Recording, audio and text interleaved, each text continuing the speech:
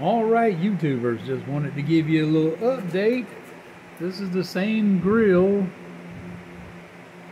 that was put together and painted and done just terrible.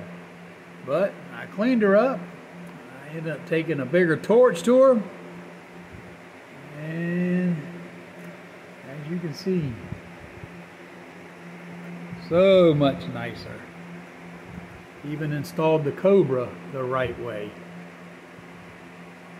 Alright, I told you I'd show it when I got it done.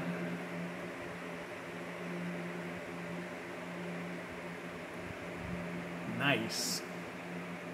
Alright, just a quick little shorty. Hit the subscribe button. Hit the subscribe button. Hit the like button. Come on, YouTube. Friends and family, bring it on. We need you. And it's that easy. Looks great. We out.